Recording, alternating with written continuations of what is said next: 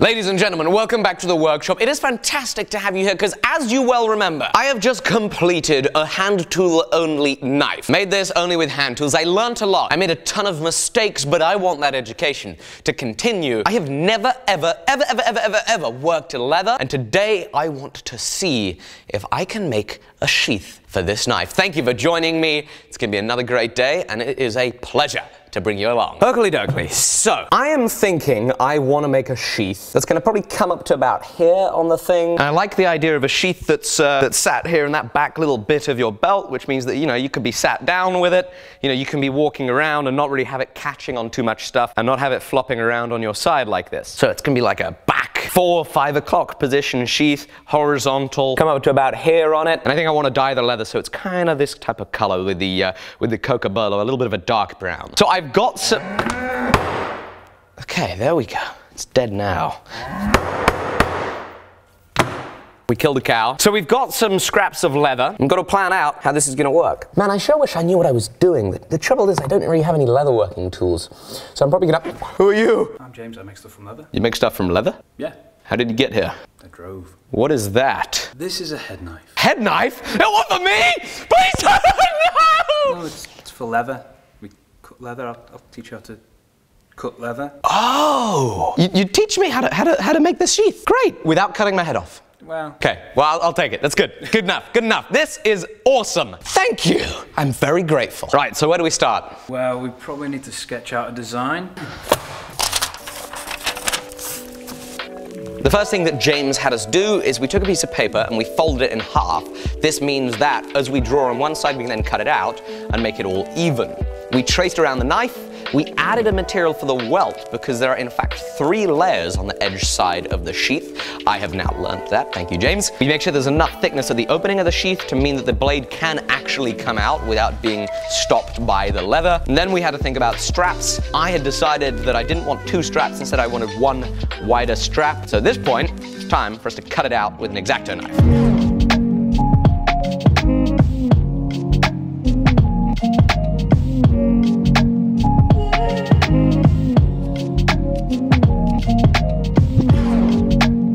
Now we're going to cut this out of the leather. Apparently there's such thing as a grain in the leather.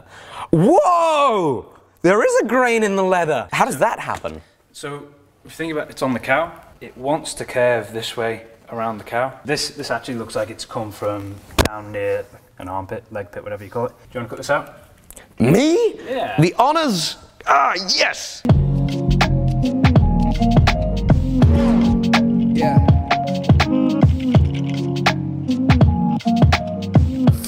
We have a scribe.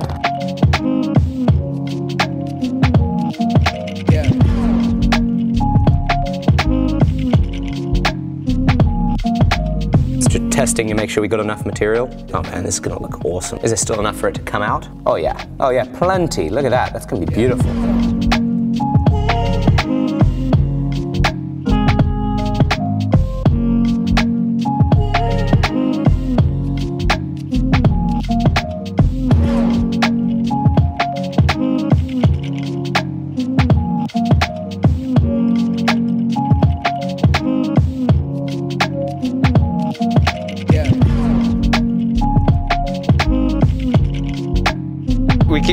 Into an issue that is my belt is ridiculously huge. We're in our second piece of leather and uh, we, we still have not uh, cut enough leather for the strap. Attempt number three.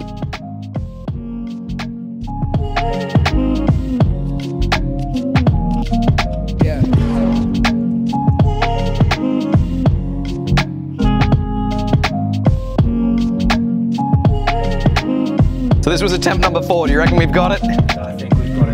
Phew. So now you've just traced the outline Yeah. of the actual sheath itself so you can cut it.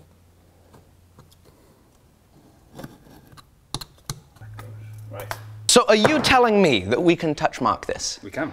Yeah. Hitting in a touch mark? Yeah. Okay, so no, no 12 pound sledge? Uh, no. Okay, how do we do this? Okay, so when we're marking leather, we need to wet it first. So this is veg tan leather. We didn't say that. This is veg tan, not chrome tan. What's the difference between veg and chrome? Uh, veg tan will take uh, a stamp. It will take a tool mark, and we can form it. We can wet it, squish it into shape, and it will hold its shape. Chrome tan won't.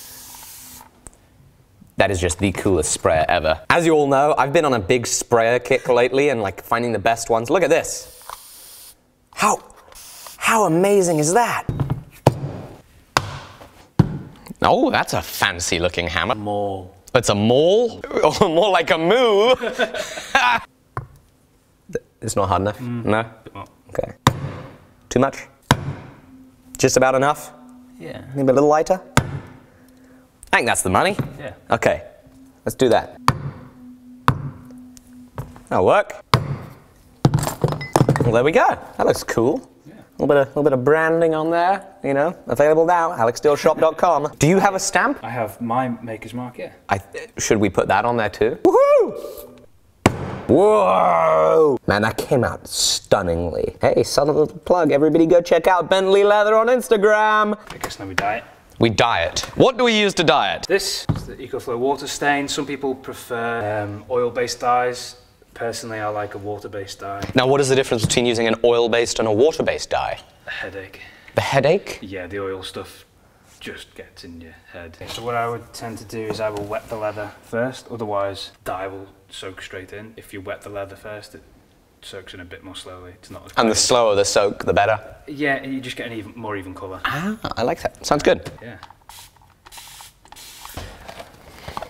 If we just, Look how cool that looks. I'm about to make a mess. yeah. Great. Am I doing it right? Yeah, yeah. Whoa!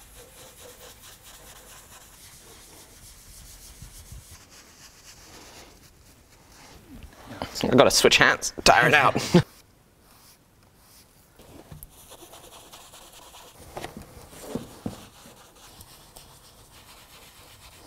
so what? Do we then wipe this down, and flip it over, and do the backside? Yeah, we will.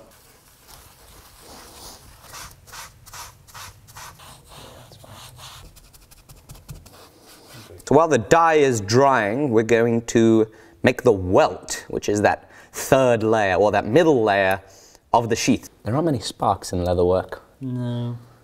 It's peaceful, peaceful work, leather work. So again, just gonna put a little dye on the on the welt.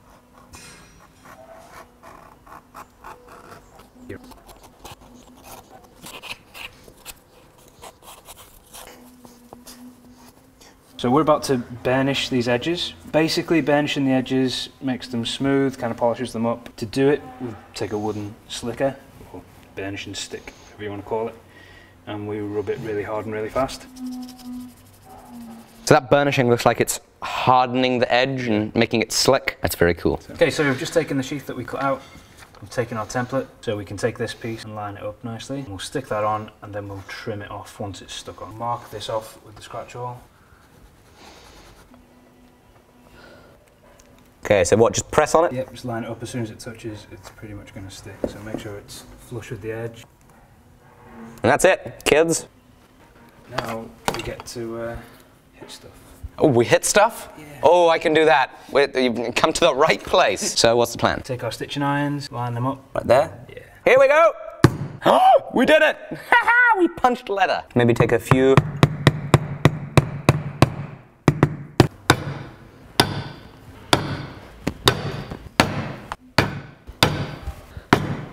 There we go. Punched some holes.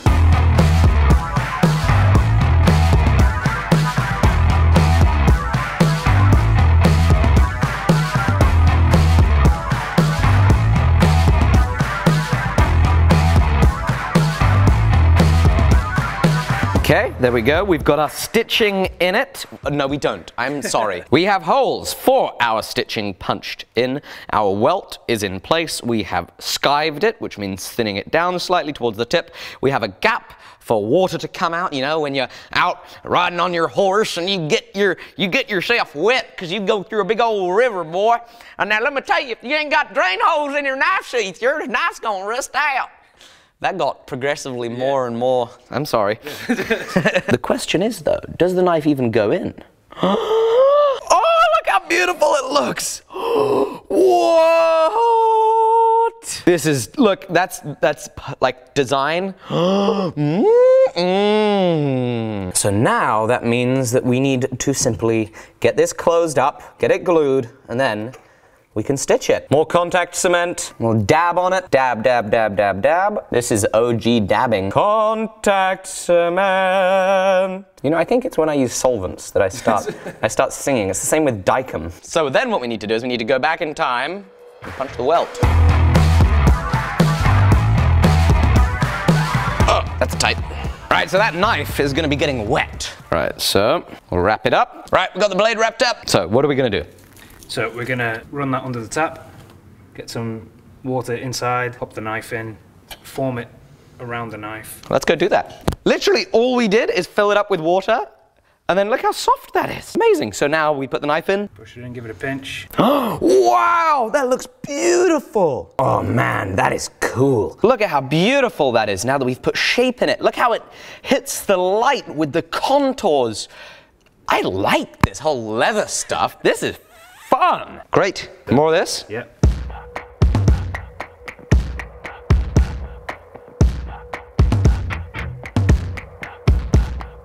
Have a listen, have a listen. Ooh, Nelly. So what, we gotta learn how to stitch? Yeah.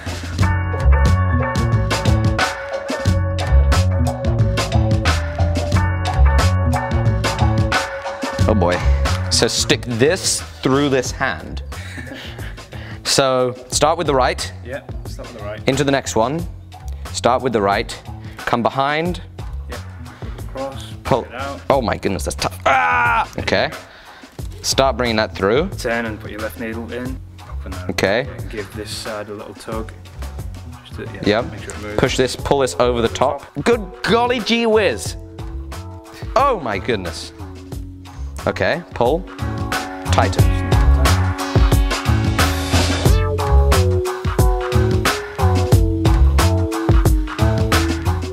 Great. I think we should work on the actual knife. Yeah, I, I mean, I've done like think you're ready? I've done three stitches, so I think. I think I'm I think I'm good.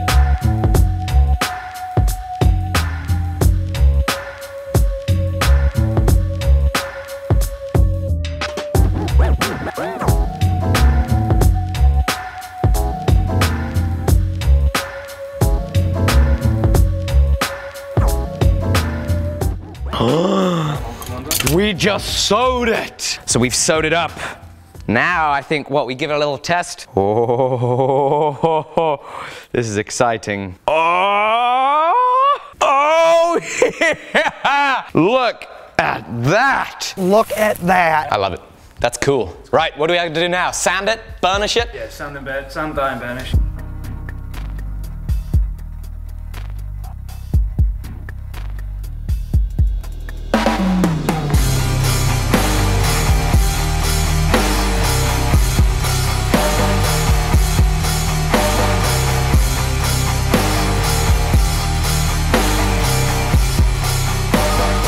James, I cannot thank you enough. He just taught me how to make a sheath, and I am beyond the moon. I made a sheath that holds a knife that I made with hand tools. Dude, I, I made a sheath! This is the entrance to a rabbit hole that I could very well fall down, and it's gonna be your fault, James. So, guys, please go check out his website, go check out his Instagram, and it'll all be linked down below. I am immensely grateful for the education, for the, uh, for the little inkling into a craft that I hope one day I will continue to learn. Thank you guys for watching. Check him out. It's a pleasure, as always, bringing you along this journey and this education. Usually I stumble along by myself. Today, James again, thank you.